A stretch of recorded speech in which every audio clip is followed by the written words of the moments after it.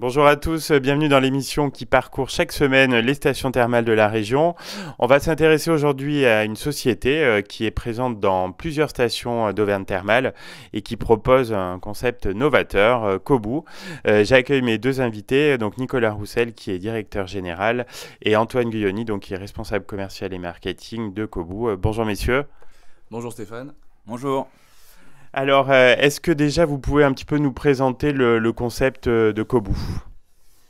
Alors le concept de Kobu, il est simple, c'est ça, ça, rejoint l'idée de départ, c'était de mettre à disposition des acteurs du tourisme des solutions de vélo en libre service avec euh, l'idée d'utiliser cette agilité qui était d'avoir des vélos disponibles 24 heures sur 24 et utilisables directement depuis une application.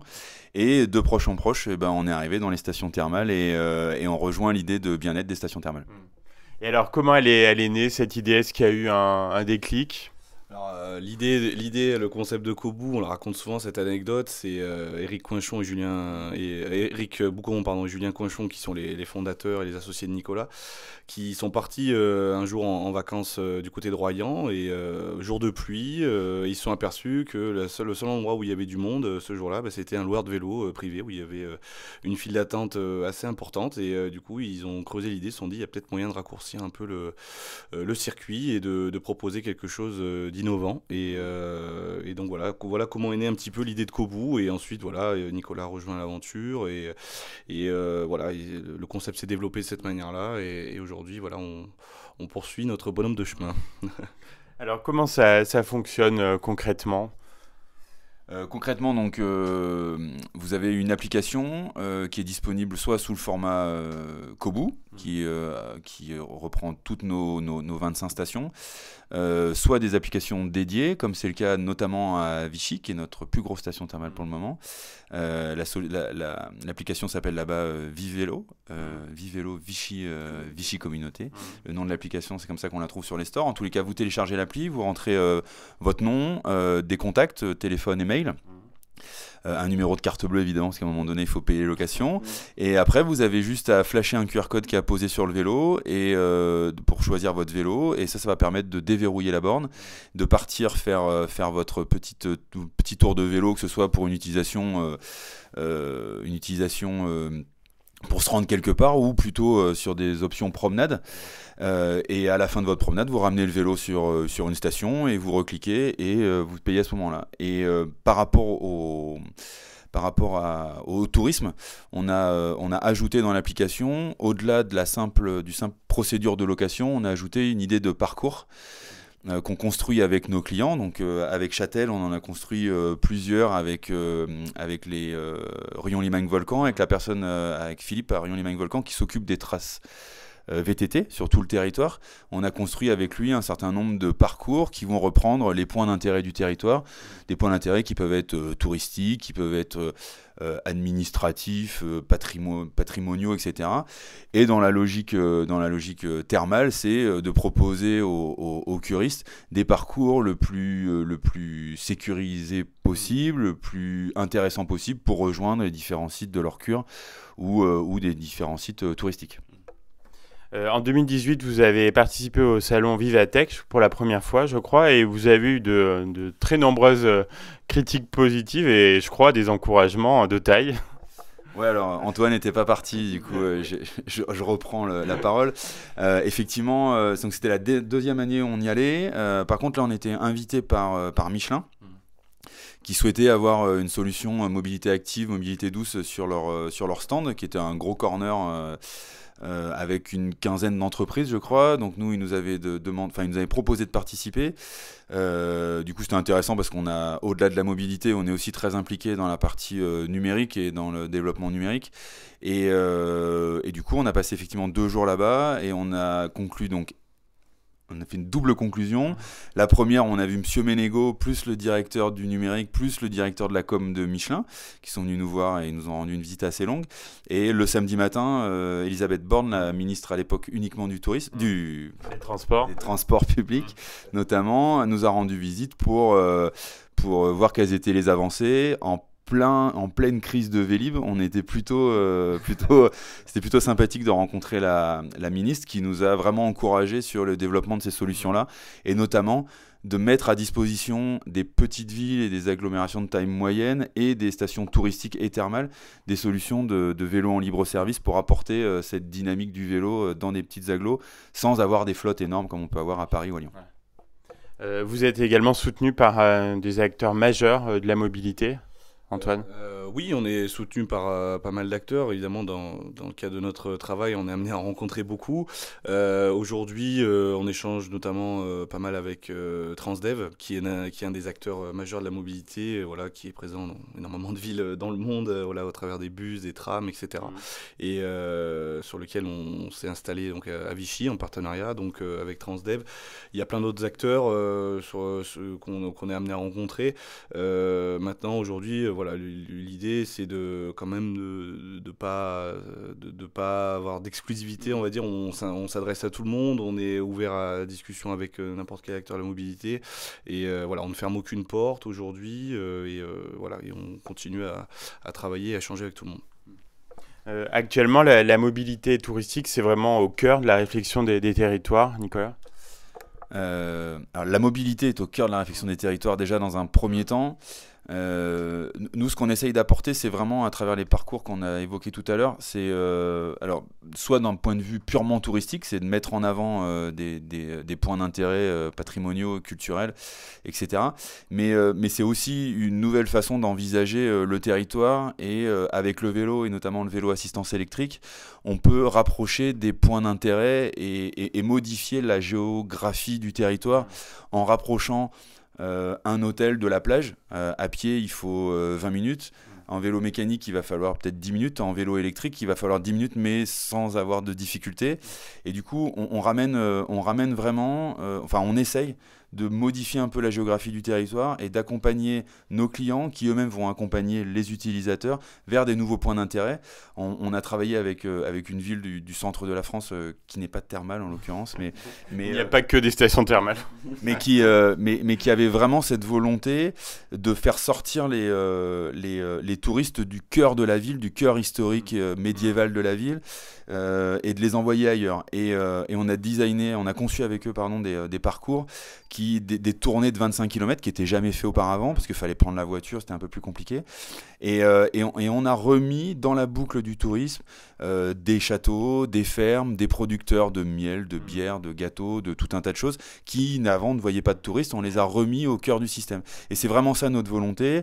C'est ce qu'on est en train de développer à Vichy, c'est ce qu'on essaye de développer à Châtel, à Volvic notamment pour, les, pour, les, euh, pour, les, pour nos flottes locales, mais aussi au Pays Basque, etc. où euh, on, permet aux utilisateurs, aux touristes d'aller découvrir des nouveaux sites qu'ils n'auraient pas forcément découverts avec, euh, euh, comme on peut le faire avec des vélos, c'est-à-dire qu'avec un vélo, bah, on revient au truc que le parcours et le, voyage aussi fait partie de, fait partie de l'intérêt et pas seulement le château à la fin ou, le point d'intérêt à la fin. Il y a aussi tout le parcours, c'est familial, c'est du bien-être, c'est dynamique, c'est actif, c'est plein de choses et, et on remet tout ça au cœur du système et puis avec les vélos assistance électrique qu'on peut se permettre d'envoyer les gens à plus de 25 km.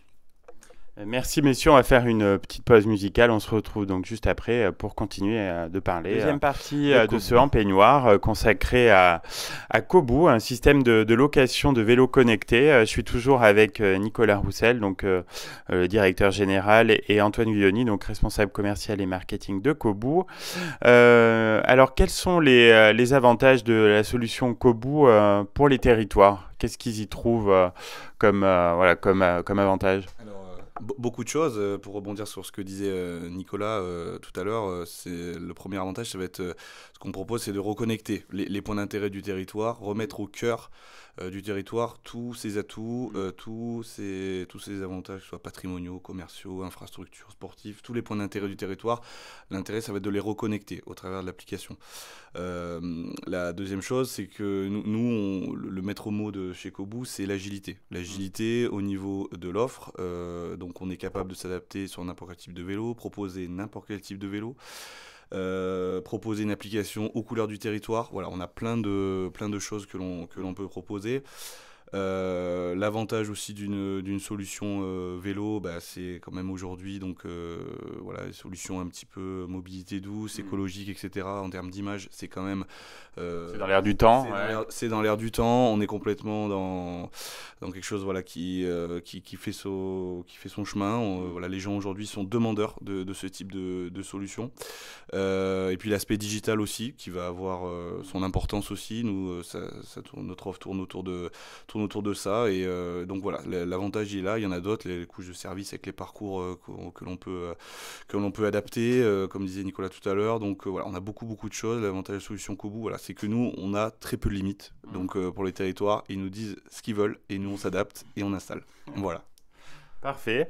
alors, quels sont les retours des, utilisateurs? On imagine qu'ils apprécient le, bah, la simplicité d'utilisation. Euh, alors c'est très drôle parce qu'on a euh, à peu près tout. Euh, on a de l'utilisateur pas du tout habitué à, prendre en main son smartphone et mm. qui le réduit au, simple niveau de téléphone. Donc parfois il nous faut répondre sur notre hotline à des questions de j'arrive pas, ça marche pas, mais en fait ils n'ont pas téléchargé l'application. Euh, non, ça c'est plus pour les anecdotes et c'est celle qu'on garde euh, pour mm. notre sur la hotline, ça nous fait toujours rire. Non, on a plutôt des retours euh, positifs, effectivement de la simplicité de l'utilisation.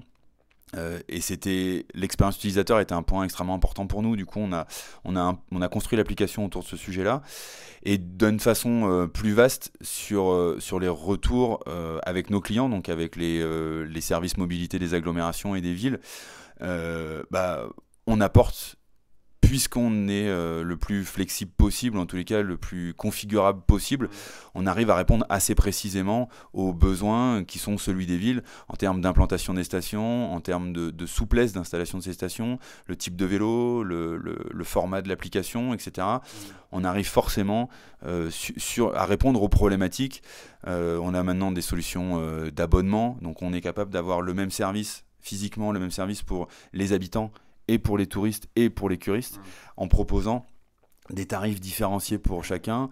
Euh, à Vichy, on peut proposer des tarifs aux étudiants, comme on peut proposer des tarifs aux, concitoyens de l'agglomération, comme on peut proposer des tarifs aux touristes, comme aux curistes, qu'on peut aussi différencier de façon assez simple.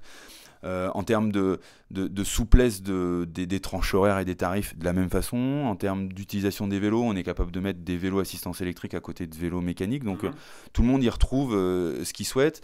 Et du coup, on a des services qui sont bah, configurés quasiment sur mesure pour l'utilisateur. Donc pour nos clients, ça reste quand même une solution ultra simple. Et puis en plus, des toutes petites flottes. Du coup, pour le moment, on est plus sur accroître les flottes qui sont déjà en place mm. que sur réduire les flottes. Euh, voilà, à Vichy, on est, euh, on est dans une perspective de, croissance et de multiplication des stations. Euh, à, Châtel et sur le territoire plus largement de Rion-Limagne-Volcan, puisque c'est lui notre donneur d'ordre, on est dans une réflexion de où est-ce qu'on va mettre les nouvelles stations l'année prochaine. Mm sur l'ensemble du territoire. Euh, et là, on s'installe au Pays Basque et la réflexion est un petit peu la même. Si on commence par le littoral du Pays Basque, alors plutôt thalasso que thermalisme, mais, mais, euh, euh, comment est-ce qu'on va après aller installer nos stations dans les, dans les villes qui sont plus dans les terres? Et on est vraiment dans cette logique de croissance sur les, sur les, sur les flottes sur lesquelles on est déjà installé.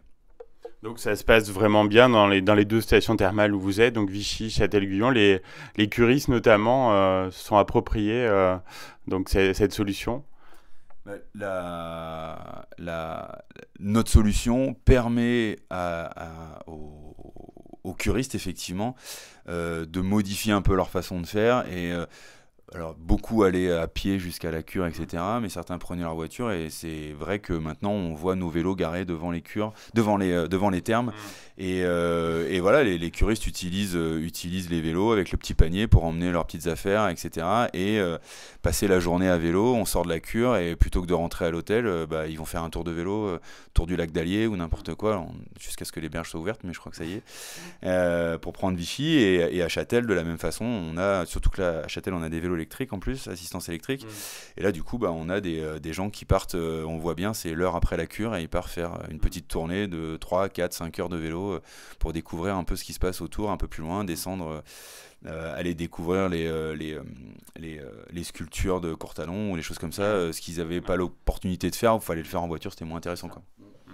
Et sur ces deux stations, vous avez des, des partenaires qui vous ont, qui vous ont aidé du coup, alors sur, sur, les deux stations, donc euh, nous, on, voilà, les partenaires qui nous ont aidés, donc euh, Openium, dans un mmh. premier temps, qui est un partenaire euh, local, hein, clermontois, qui développe des applications mobiles, donc avec lequel on, on travaille aujourd'hui. On est également sur Vichy, on, travaille, on a commencé une collaboration avec MyBus, qui est une, une start-up voisine, qui est au bivouac avec nous et avec laquelle on échange bien, et qui, voilà, si vous téléchargez l'application MyBus, vous êtes à Vichy, vous avez le nombre de vélos libre service euh, qui, est, euh, mis, à disposition et inversement sur notre application aussi vous avez les horaires des prochains bus qui vont passer euh, voilà, dans une logique d'intermodalité et là aussi d'échange entre start-up clermontoises et qui essayons de, de, travailler ensemble main dans la main au, service de la mobilité des territoires.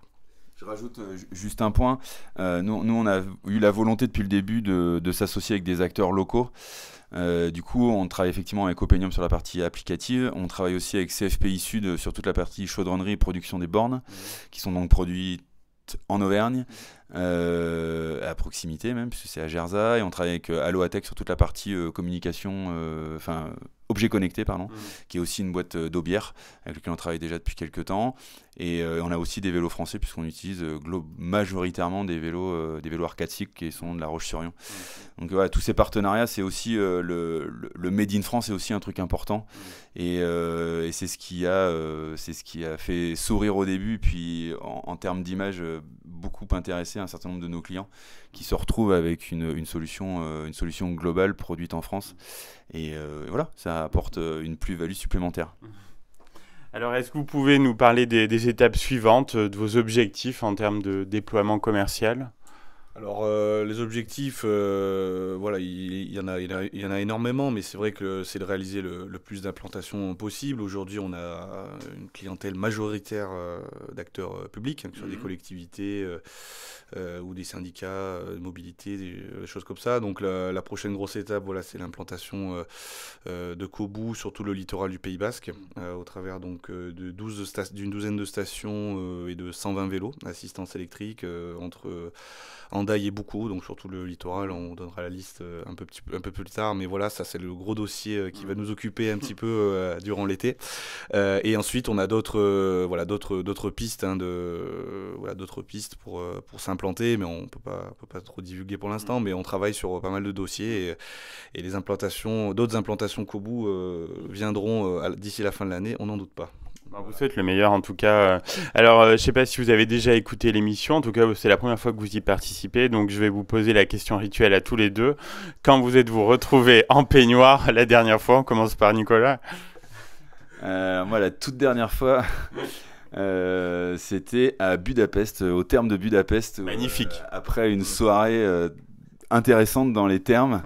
Et il était très tard. Je crois qu'on a bu le dernier verre au bar des termes en peignoir, effectivement. Parfait. Antoine Alors moi, la dernière fois que je me suis retrouvé en peignoir, euh, c'était un petit peu euh, grâce à Auvergne Thermal, puisque j'avais euh, eu la chance de remporter un séjour pour deux personnes au sein de, au, sein d'un des termes d'Auvergne. Et du coup, on était allé se faire un petit week-end avec mon épouse au, terme de Saint-Nectaire, mm. et donc au, courant du mois de mai. Et donc c'est à cette occasion-là que je me suis retrouvé en peignoir la dernière fois. Voilà. Parfait. Ben, on vous souhaite de vous remettre rapidement en peignoir. Et euh, à très bientôt alors pour euh, une prochaine émission, pourquoi pas. Et en tout cas, euh, bah, continuez bien avec, avec cette solution Kobu qui a fait pas mal d'adeptes.